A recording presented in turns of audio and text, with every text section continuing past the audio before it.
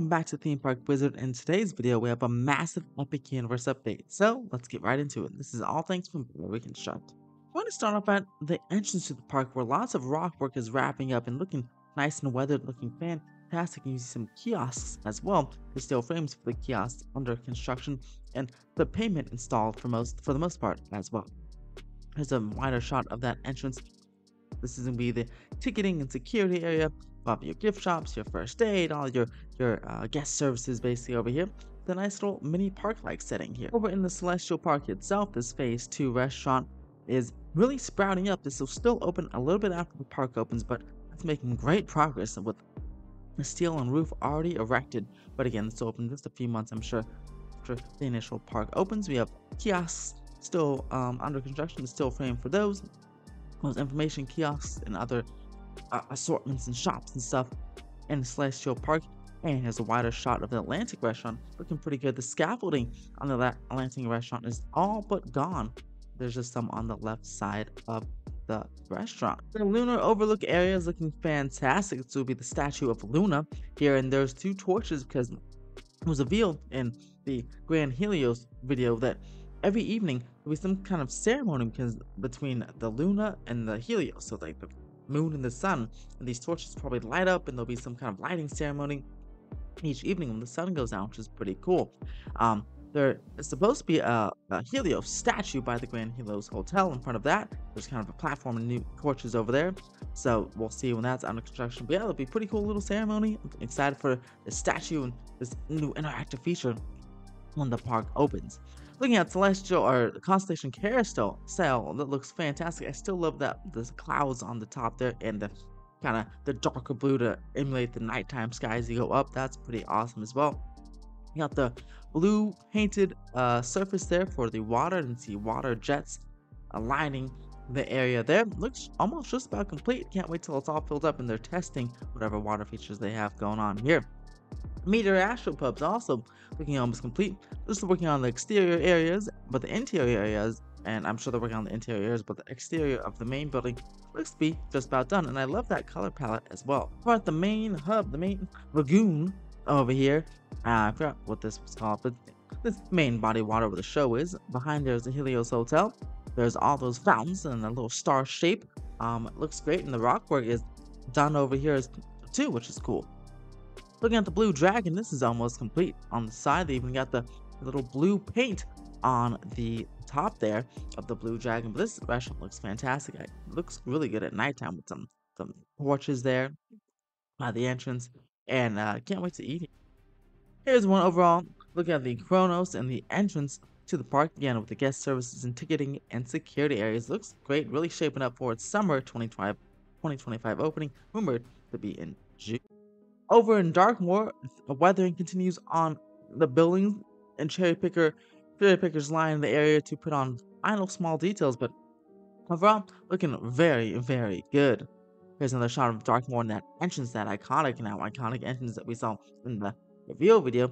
And there's a there's a the pathway to somewhere that might be one of the restaurants or the monster makeover area. The entrance to Monsters Unchained has gotten its full circle. Again, each one of these main attractions seems to have that kind of like celestial circle, that little area. You know, we see that in portals, this little plaza area, and now we see it in front of the main attractions. I love the really dark, the dark, uh, you know, patterns over here, and the even some landscaping going where I'm sure some water will be going underneath the moat. That Monsters Unchained looks like we're finally getting ready to see that topper pieces, all the scaffolding has been removed except for that center piece with the main topper that has still not been installed. So I'm very excited about that. But other than that, the exterior looks fantastic. Testing continues on.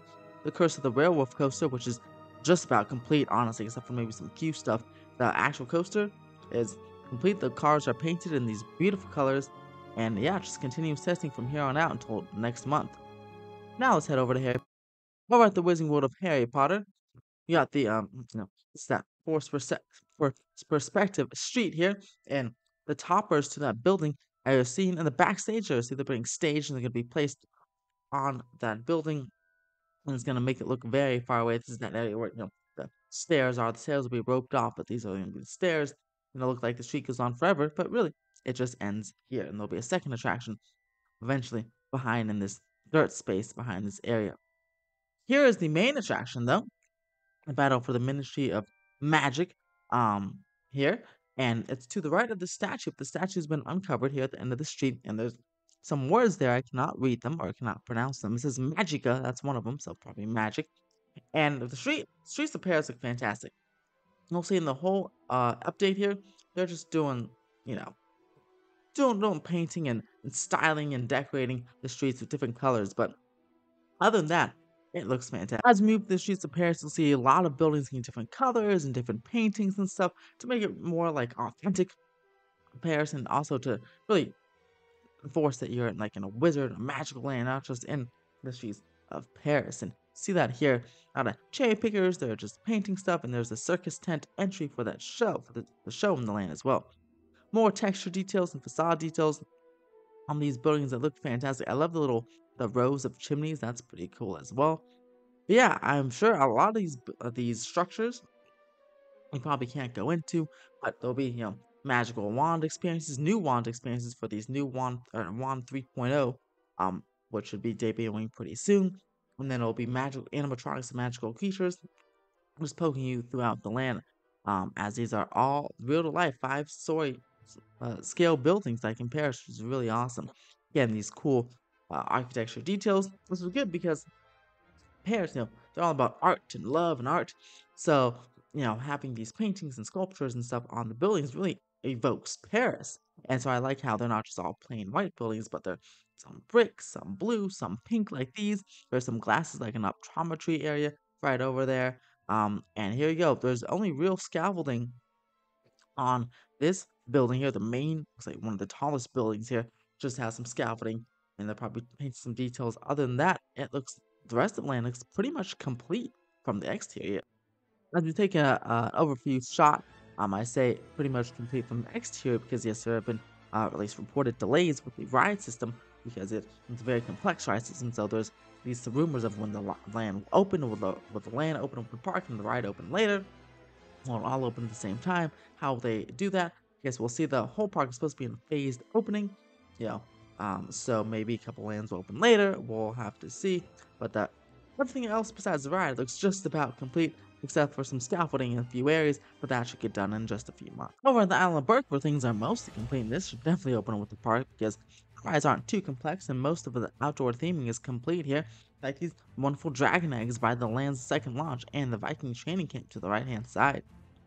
Over here we have uh, just kind of the village area where all those dragon houses are. We'll show you a little bit later, a closer look later, but that is where the land's main gift shop is. But I love these themed pathways that are starting to be poured too. Over here, the Dragon, Ra Dragon Racer Rally, you see all the dragon houses are installed. The dragons um, they are there in their houses, and the supports have been put up for um, queue structures and be queue shading.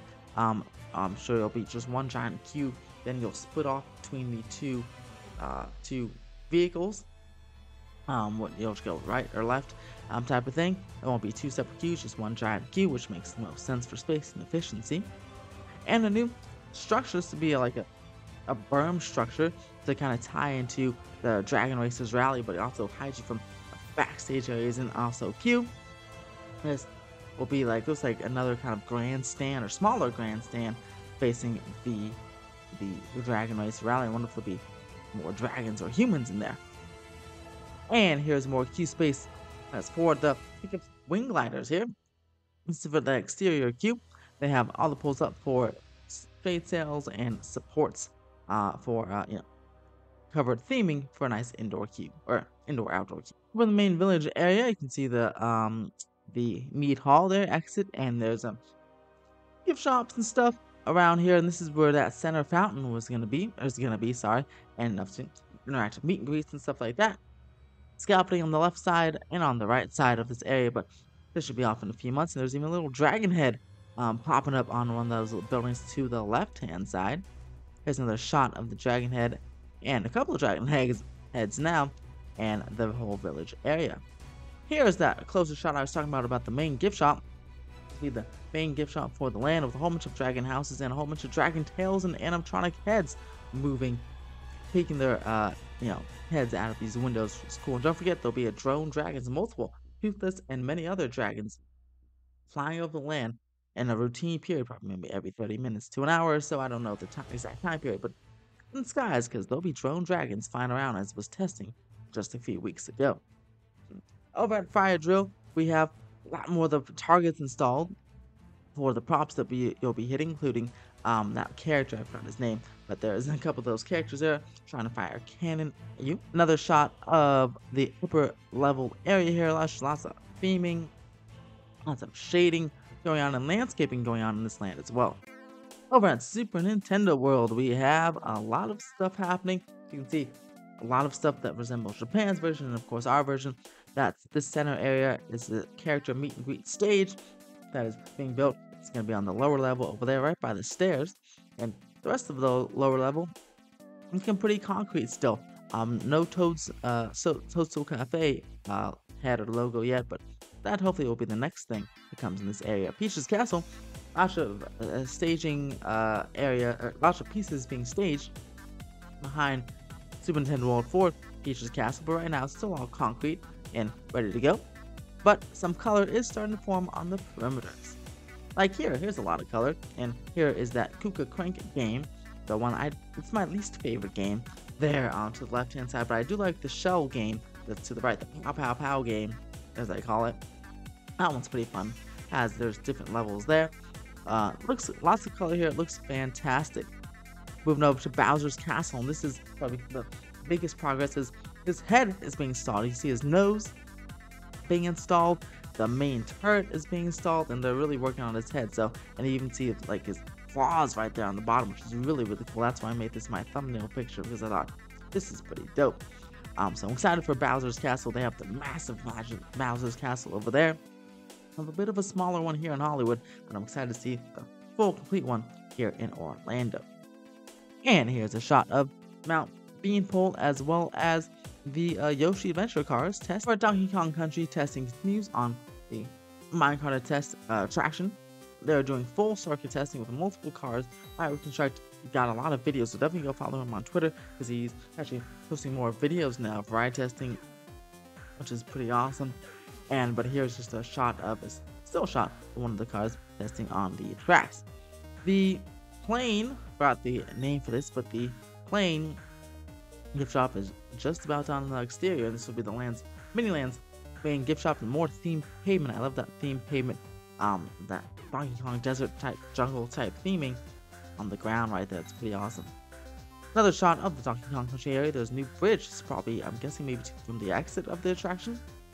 Looks like it goes past the waterfall, and uh, be, and the entrance or the exit of the attraction will be right here. And yeah, the shade cells. This is again type of exterior shading that you'll see at those other attractions that we saw those supports for the shade cells on. And we're gonna wrap it up here. Starfall Racer. Starfall Racer looks fantastic with the meteor or comet under construction there. Still under lots of scaffolding, but it should be getting paint and more touch-ups pretty soon. And the exterior queue for Starfall Racers looks pretty awesome too. I like how it winds around and it's pretty wide, so it'll be lots of um, lots of stanchions and lots of switchbacks in this particular area. I'm sure there'll be plenty of shade cells to cover it up and make it uh make it a more comfortable experience.